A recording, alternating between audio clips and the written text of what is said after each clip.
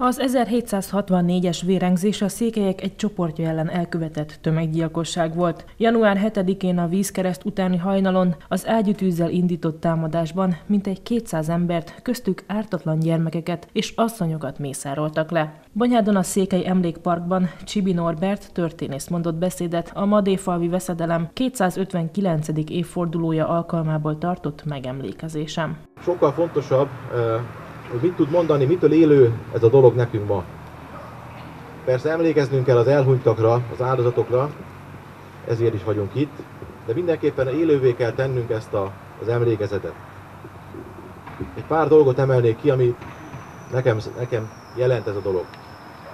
Az egyik a közösségnek az ereje, hogy a közösség, és azon belül az egyének a felelőssége az mennyire kulcskérdés abból a tekintetből, hogy egy nép, egy csoport meg tud erősödni, meg tud maradni egy elég viszontagságos évszázad vagy több évszázad közepette. Illés Tibor a Bukovinai Székelyek Országos Szövetségének elnöke szerint fontos, hogy minden évben megemlékezzenek és levonják a tanulságokat. A megemlékezés az mindig e, ugyan visszanyúlik a múltba, visszatekintés, de a visszatekintésnek én úgy gondolom akkor van értelme, amikor előre is mutat egybe hiszen azokat a példákat, azokat a akár pozitív, akár negatív példákat mindenképpen be kell építeni az ember a életébe, és ami nem volt jó, azt kerülni kell ezáltal, hiszen tanulságként kell szolgáljon, és ami meg mindenképpen előre mutató, és úgy gondolom, hogy hiszen azért mintaértékű,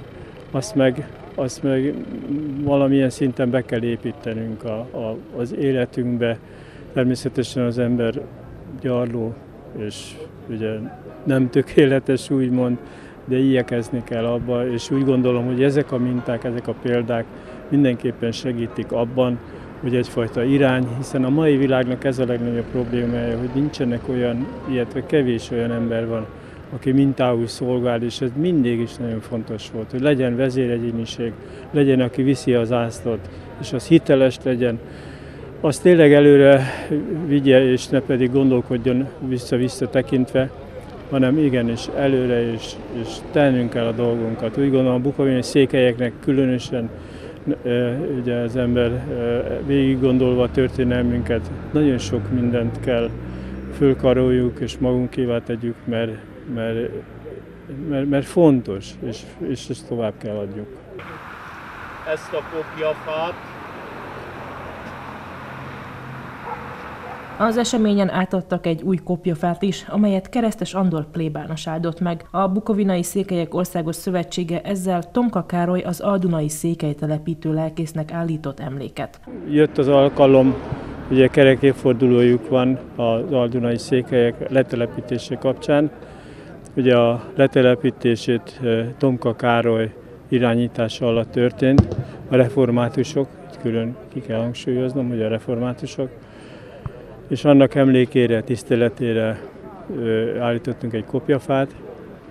Ugye ő, ő Hertelendi falván van eltemetve, és úgy gondoltuk, hogy mivel a közösség ugye ide tartozik közénk, hiszen bukovinai székelyek, ezért ez a legkevesebb, hogy megtiszteljük és elhelyezzük az ő kopjafáját is a, a parkba, ahol végül is helye van. És úgy gondolom, hogy még sok-sok hasonló kiemelkedő egyéniség, személyiség, ami példaként szolgál a bukavészékelyeknek, ugyanúgy helye lesz, és, és bízom benne, hogy, hogy a jövőben még, még mindig sok, sokan vannak, akik, akik megérdemlik. Az esemény zárásaként a városvezetés, az egyesületek és az intézmények képviselői megkoszorúzták a Székely Parkban felállított emlékművet.